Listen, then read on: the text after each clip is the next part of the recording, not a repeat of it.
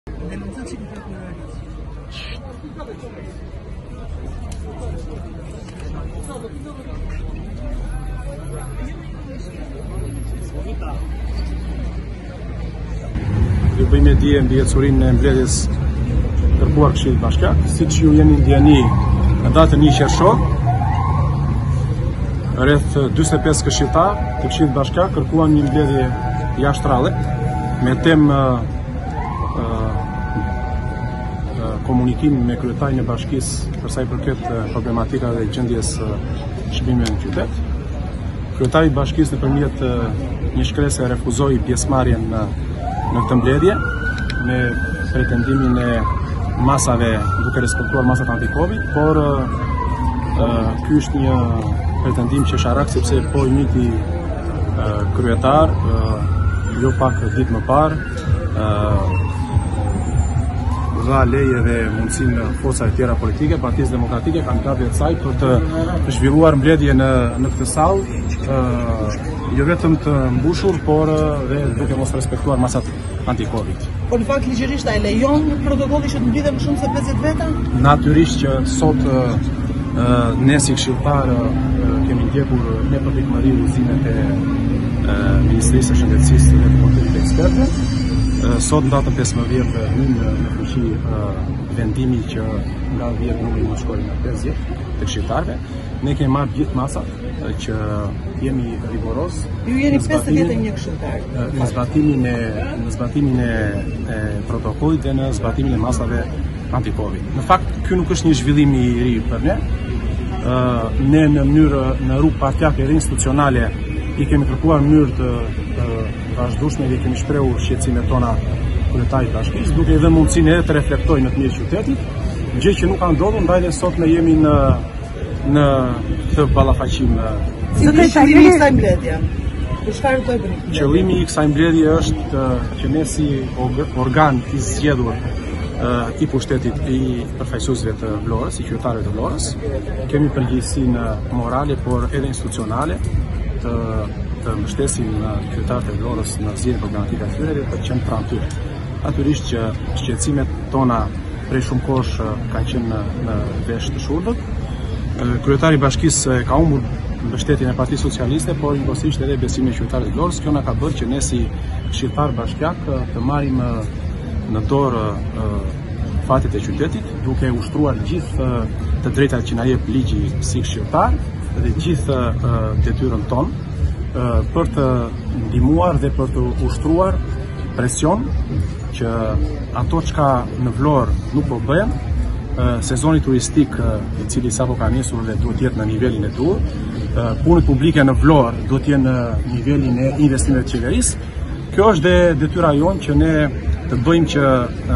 Puna e pushtetit vendor të jetë në nivelin e Jo vetëm nga qytetarët, por edhe nga mediat është perceptuar më së shumti si një luftë politike, përtej le të themi dëshirës për të funksionuar më së miri bashkia apo punët publike në qytet. A keni ju një koment për këtë? Dhe le të themi pse sot e gjithë ky ballafaqim me kryetarin e bashkisë dhe jo një vit më parë kur të gjithë e dimë që unë shpreha e shpreha në fjalën time që mhm. ne prej shumë kohësh kemi kërkuar që kryetari i bashkisë të reflektojë Për shumë punë në qytet dhe për shumë zhvillime në qytet, të cilat ne mendojmë se mund të bëhen më mirë. Dhe sot jemi përballë një ballafaqimi, kërkesën për të ballafaquar kryetarin e bashkisë, për shkak se uh, nuk kemi parë, nuk kemi parë dhe nuk kemi pasur reflektim dhe reagim nga nga puna e tij. Kështu që uh, uh, shembulli shembulli më më kuptimplotë sot ku uh, këshilltarëve të zgjedhur të qytetit uh, përbuzen dhe përkëmben uh, në këtë formë duke iu mbyllur derën dhe duke duke dhunuar të drejtën, duke dhunuar lirinë e fjalës dhe mundësinë që të jep demokracia për të për të bërë komunikim publik, në fund fundit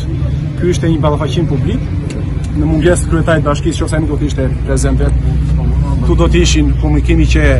i hapur, mund të ishin dhe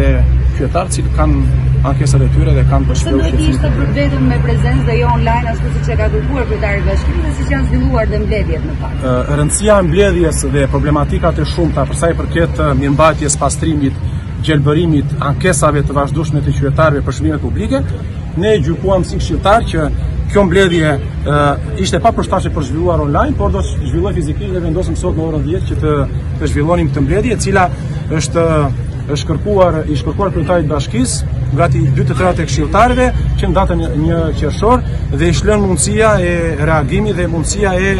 e zgjedhjes dhe e kërkesave të tija natyrisht që këshilltarët kanë vendosur që datën 15 duke qenë se sot komiteti i ekspertëve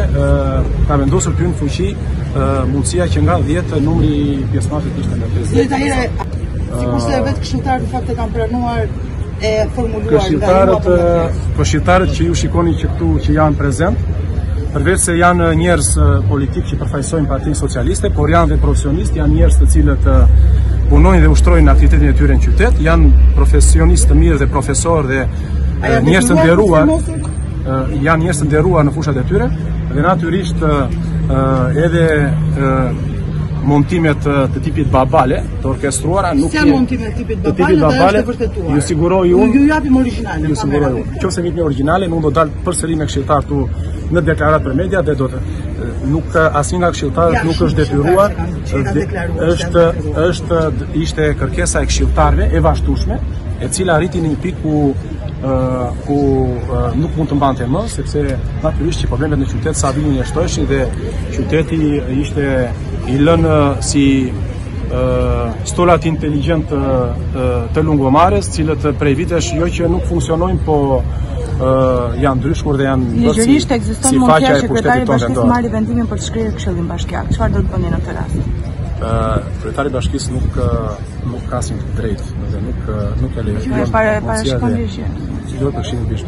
Këshillin Bashkiak. Natyrisht që ne nuk jemi këshilltarë bashkiakë, por jemi përfaqësues populli. Kryetari i bashkisë, kryetari i bashkisë nuk mund të dali kundër qytetarëve të Vlorës, të cilët Cili do të jetë qëndrimi i këshilltarëve në vazhdim, duke pas parasysh dhe situatën. Ne do të ndjekim gjithë hapat ligjore dhe të gjitha instrumentet të cilat do t'i shërbejnë qytetarëve të Vlorës, natyrisht që hapi i parë do të jetë ngritja e grupeve të monitorimit dhe auditimit për të gjitha ecurinë e punëve në bashkinë Vlorë. Do të kërkojmë një grup auditimi, ashtu siç e parashikon ligji i Këshillit Bashkiak, po ashtu edhe një grup monitorimi ku në hapin tjetër ne do të thërrasim drejtorët drejtuesit e institucioneve të të sektorëve të bashkisë, sektorëve të bashkisë, të cilët do të raportojnë mbi ecurinë e këtyre problematikave të qytetit. Ato i shikoni, ka dhe hapa të tjerë në vazhdim, të cilët do t'i njihni në në në, në vazhdimësi. Faleminderit.